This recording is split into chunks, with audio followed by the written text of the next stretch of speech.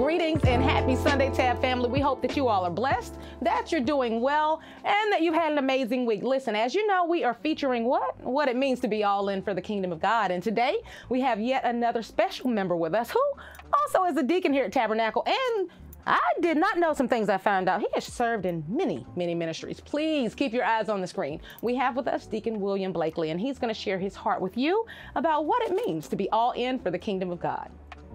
Been here, Tab, 13, 14 years now. Came right after Dr. Goodman. My wife and I joined. Deacons, men's, and in the men's, uh, several different roles and capacities with under that umbrella.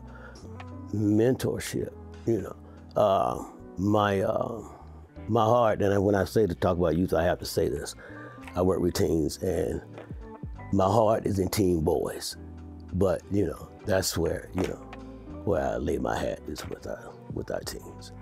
My wife and I only have one child, and I have two grandchildren, two girls. But with my son, I recognized it was some mistakes I made, some things I should could have done a whole lot better than I did.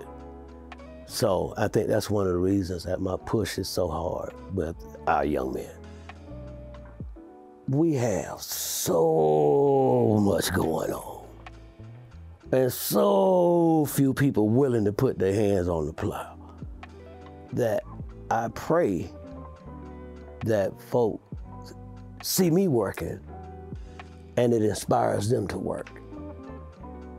Because in-reach and outreach at Tabernacle is not matched anywhere I've ever been, in any entity I've ever been a part of or have seen. It's unmatched. And everything we do, we strive for excellence. So to be excellent at anything, you got to be all in. You know, I worked in the retail sector for 16 years. And if you put together a team and the team slacks, then well, guess what? You don't get the sales because your customer service is going to be bad. Folk not to come back to you. You know, they, they go elsewhere. Well, that same philosophy can be applied to our church if we don't strive for excellence, put the right people in the right places. I don't care how good Dr. Goodman preaches, it's going to be lost because those that's doing the, the other pulling on the rope, you know, in other areas, if they're not giving their all, if they're not all in, if they're not bought in, then folk not going to feel comfortable at Tabernacle.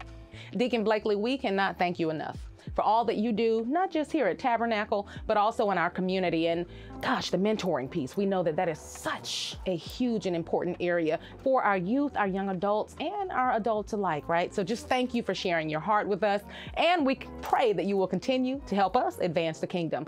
Listen, speaking of advancements, as you guys know, this week is pretty hectic as we get ready for Thanksgiving. Not only do we have Thanksgiving with the pastor, which is on Tuesday. Hope you got your tickets. If not, please get out there quickly and sign up for one of our three seating times. And also get ready for what? Cooking with PG. Hmm, what's he gonna make? Take a look online so you can see those recipes and save them. We want you to be a part of that as well.